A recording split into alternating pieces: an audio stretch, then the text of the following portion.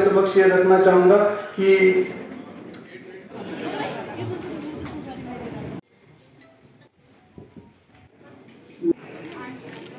चरणबद्ध तरीके से सभी हमारे विधानसभा क्षेत्रों के कार्यकर्ताओं की मीटिंग और इसी संदर्भ में हमारी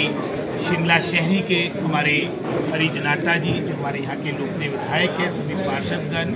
और समस्त आपकी शिमला शहरी क्षेत्र के हमारे जो सीनियर कांग्रेस पार्टी के कार्यकर्ता अग्रणी प्रकोष्ठों के सभी चाहे उसमें महिला कांग्रेस की बात हो सेवा दल की बात हो युवा कांग्रेस, एनएसवाई, समस्त शिमला शहरी के हमारे सभी जो कर्मठ साथी है, उनकी बैठक और इसमें निश्चित रूप से जैसे आपने नॉमिनेशन की बात की, उस बारे में तो अवश्य बात होगी होगी और बढ़ चढ़ कर हमेशा यहाँ से कंट्रीब्यूशन योगदान रहता है हमारे शिमला शहरी से साथ ही साथ भविष्य में किस तरह से हमारे प्रत्याशी का माननीय मुख्यमंत्री सुखविंदर सिंह सुक्खू जी के कार्यक्रम जो हमारे शिमला शहरी इस लोकसभा चुनाव के मद्देनजर होने हैं, इसके बारे में विस्तार से बात की जाएगी। मेयर साहब, डिप्टी मेयर, सब समस्त हमारे सभी सीनियर पार्टी के कार्यकर्ता यहाँ पर आए हैं और सारा मैं समझता हूँ आगामी जो पंद्रह बीस दिन है, इसका प्रारूप तैयार किया जाएगा। ताकि जन जन तक जो हमारी एक डेढ़ वर्ष की उपलब्धि वर्तमान सरकार की है और हमारा जो कांग्रेस पार्टी का मैनिफेस्टो जिसमें मैं समझता जनहित की बहुत सी बातें हैं, उसको जन जन तक पहुँचाया जाएगा।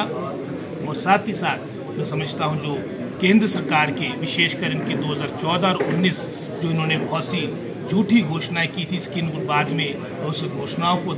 जुमलों में तब्दील कर दिया था, उस पर भी मैं समझता जनता जनार्दन इन सभी बातों का मनन करेगी। और हमें पूर्ण विश्वास है, शिमला संसदीय क्षेत्र ही नहीं, समस्त हिमाचल प्रदेश की पार्लियामेंट सीट्स और जहाँ पर उपचुनाव छह जगह हमारे हो रहे हैं, कांग्रेस पार्टी इसमें बहुत अच्छा प्रदर्शन करेगी, अधिकतर सीटों को जीतेगी। जानते हैं कि जहाँ तक छोड़ने की बात है, उसमें किस तरह से धन बल का प्रयोग किया गया है